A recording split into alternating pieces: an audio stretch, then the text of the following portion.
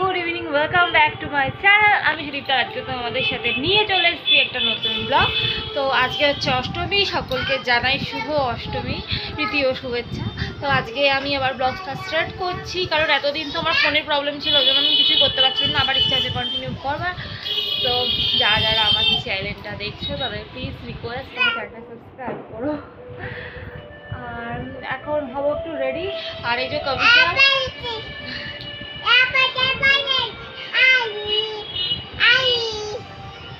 আচ্ছা পরে। আগে জামা কাপড় পরে না তখন কবিতাকে রেডি করিনি দেন আবার তোমার সাথে কথা বলছি।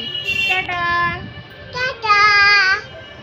তো আমি এইমাত্র ফিরলাম ঘুরে টুরে নিয়ে।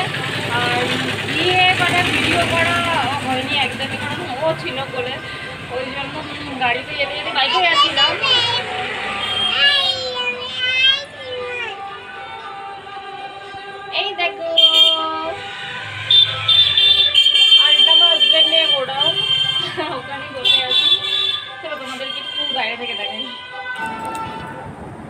তো দেখো, এটা হচ্ছে আমাদের বাড়ি, এই যে নিচে গোডাউন পৌঁছাবে দেন ওপরে আমাদের বাড়ি, দোতলা, তিনতলা রাস্তা, আমাদের বাড়ির সামনে আমরা রাস্তায় দাঁড়িয়েছিলাম মেয়ে কবিশা আর এই যে এখানে আমার এই যে যারা দোকান দিয়েছে, পাশে ওটাই হচ্ছে দিদিদের বাড়ি।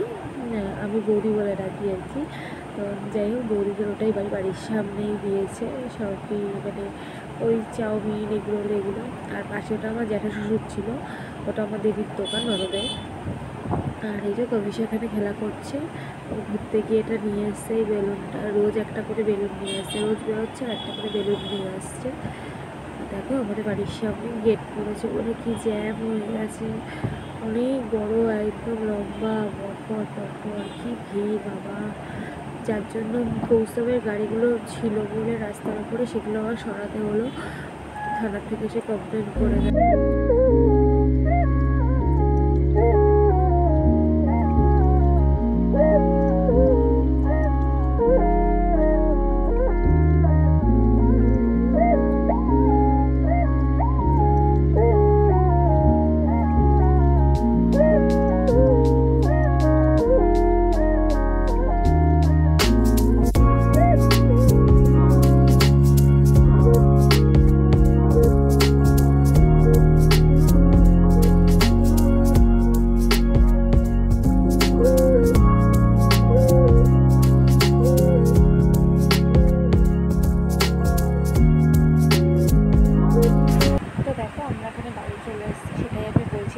খুব কম করে শোনাচ্ছিল।